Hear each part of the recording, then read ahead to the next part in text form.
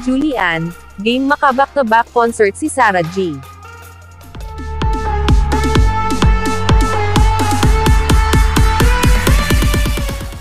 Tiyak na dudumugan sakaling magkasama sa iisang concert ang Asia's Limitless Star at Popstar Royalty.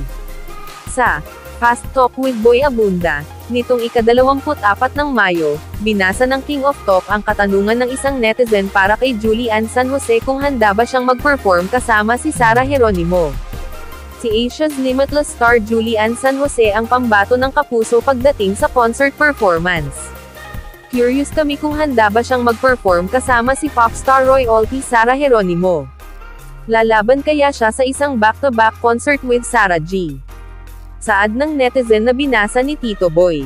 Say ni Julian, paghahandaan niya sakaling makakasama niya sa concert o makakaduet si Sarah dahil isa raw itong karangalan pero hindi siya makikipaglaban dito. Oh my god, na-pressure ako. Unang-una Tito Boy, hindi po ako lalaban because there is only one Sarah Geronimo, anang kapuso singer. Dagdag niya, isa sa mga taong tinitingala niya at naging impluensya niya sa musika ang popstar royalty kaya game siyang makasama ito sa concert.